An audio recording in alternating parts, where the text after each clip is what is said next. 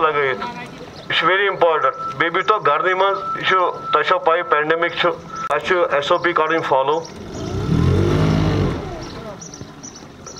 lockdown means lockdown means go यह सा यह क्वारंटीन पन पान थवन मेहरबानी करके हालात बहुत ख़राब है अभी। आपको पता ही है कि आने वाले टाइम पे और भी मुश्किल आने वाली है।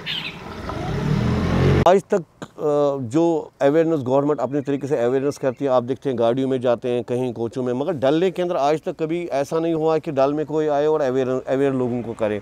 ये तबका को ऐसे ही छोड़ा है, हम इतने मुसीबत में हैं सब लोग, मगर हमें आज तक गवर्नमेंट की तरफ़ से एक भी फैसिलिटीज़ नहीं मिली है।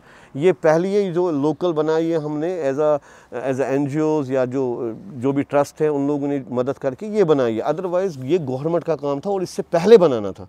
ये अब बन गई, इसकी ज़रूरत बहुत ज़्यादा है, जब तक कि लोगों को अवेयर ना हो जाए कि एक एंबुलेंस की कितनी इम्पोर्टेंस होती है। ये कितना ज़रूरी है।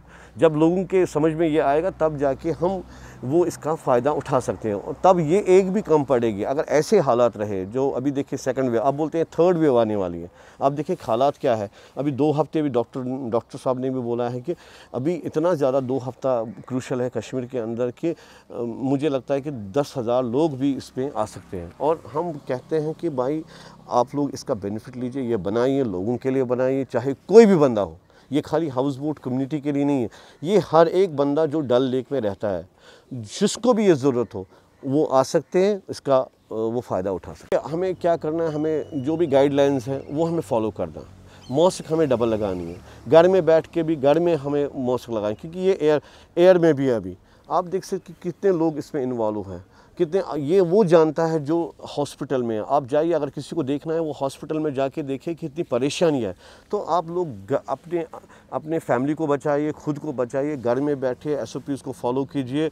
और अगर आप किसी, कहीं पे कोई कोविड पेशेंट है, कोई है, मुझे कॉल कीजिए, मैं जाऊँगा, मैं उसको खुद अपने हाथों से इसमें बिठाऊँगा।